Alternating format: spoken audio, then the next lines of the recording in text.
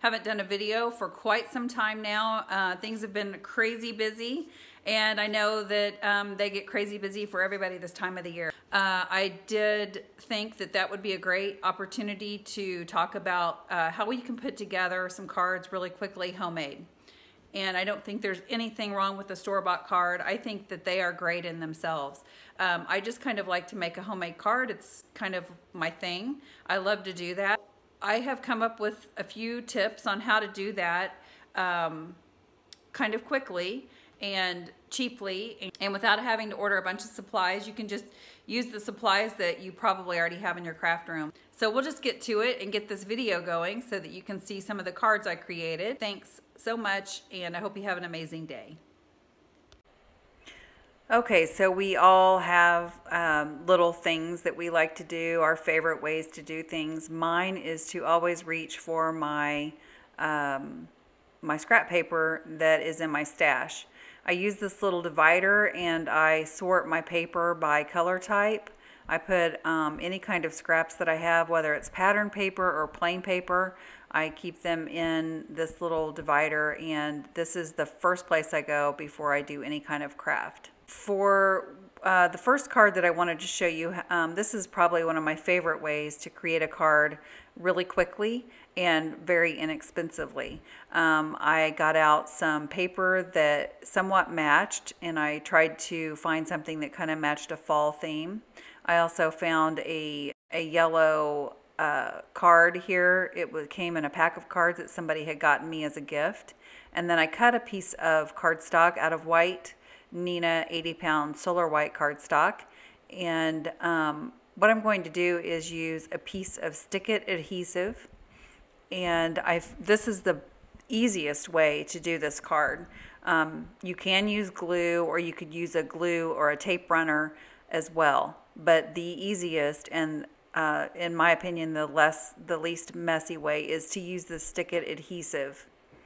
And if you haven't used stick it adhesive before, you basically are sticking this to your paper and then when you peel off the backing, it leaves a stickiness on your paper that you can use for, um, it's very good for use with intricate dies and that kind of thing. So um, I'm putting my paper down on the one side of the sticky stick it adhesive. And once I get this pressed down, you'll see that I have a little piece here at the end that um, I don't need. There's um, like about a half of an inch there that I won't use. I just went ahead and cut that off and I'm going to stick that back into the package because um, that will be great for a use uh, some at a later date either um, to use it with like maybe a um, I'm thinking off of the top of my head like for uh, some sort of a sentiment or something or a delicate um, intricate die that would work out fine. So I just stick it right back in there so I know where it's at. Now I'm going to peel the backing off of the stick it adhesive that's um, one side is pressed down to the paper and when I take the uh, release paper off what it leaves me with here is the stickiness. So I have a very sticky piece of paper here. So I'm going to go back to my scraps that I pulled out of my stash and like I said before, I tried to choose a bunch of fall colors that I thought somewhat matched. And uh, you want some variance in your width of your strips. You want some thicker, some, uh, some thinner strips. And you will also need some long and some short.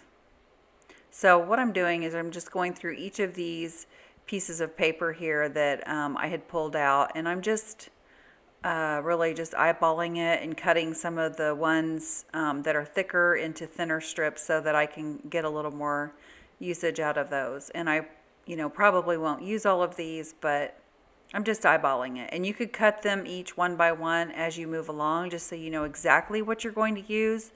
But um, for time's sake here, to save a little time, I just went ahead and cut them all into strips so that I could um, get this done for you. So once you have the strips cut down, you're just basically going to lay them on your paper. And since it's already sticky, it makes the job super easy. You can just go ahead and press those down and they'll stay put.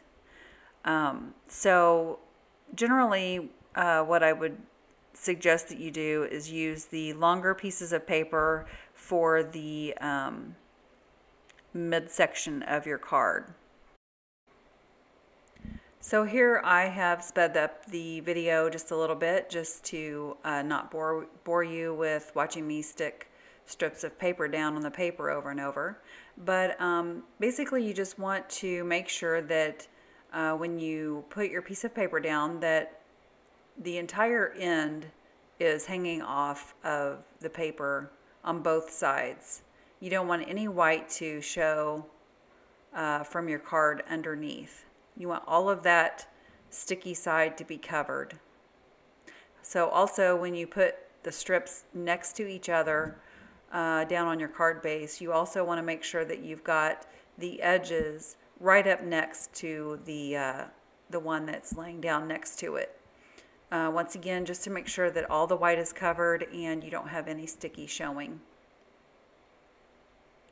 So you just want to um, get your pieces of paper laid down. I usually try to use, I don't, I don't like to use a great, um, like a little tiny piece for the corner. I usually like to use something that's at least a half of an inch wide uh, on the corner piece. So now I'm just going to trim around the outer edge by flipping over this uh, card base so that I can see the card and just trim around the edges. Uh, my trimmer, my paper trimmer has a little wire guide, so it makes this job really easy. Um, it helps me to find the edge of my card so I can easily trim around the side. And so you just trim all these little pieces off.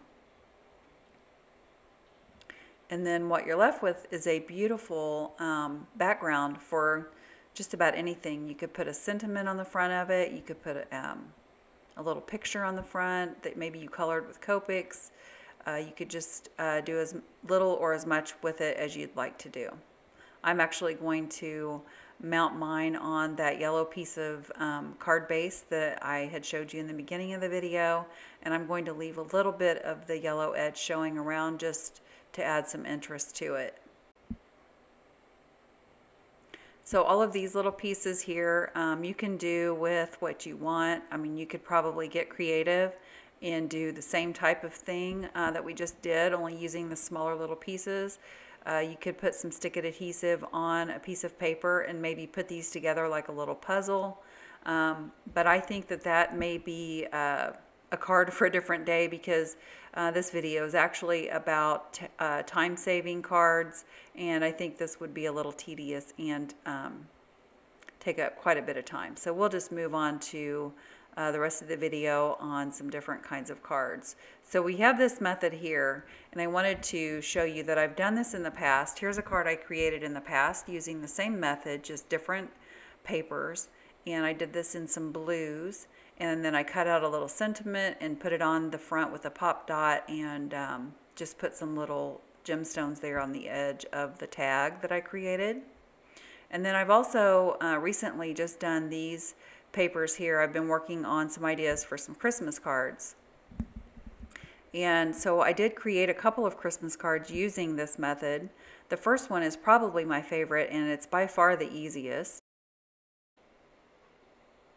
I just cut out a little sentiment here and um, it, and I embossed it with some gold embossing powder and I put a little embossing powder around the edge of that uh, in, of that sentiment as well and then I just put some craft foam behind it and put it on the front of the um, background that I had created. Okay, I couldn't help myself. I just had to create a shaker card and um, today I'm using a um, piece of one of the papers that I created using the strips like we just did, but I only used a portion of it. So I took the uh, the piece of paper with the colored strips and I just cut the bottom corner off and placed it down in the bottom right hand corner of my card front. I used a little bit of gold metallic paper to create an edge there along uh, the other edge of that. And then um, I used the sweet little Christmas set from Mama Elephant um, I've used it several times. I used the Christmas ball and the tree branch from this set. And um, I stamped the Christmas ball on the card and then used some of my circle nesting dies to cut out a circle and turn it into a shaker card. So these cards are another great way to uh, stretch your scraps that you have on hand. So both of these cards were created using just simple pieces of paper out of my stash.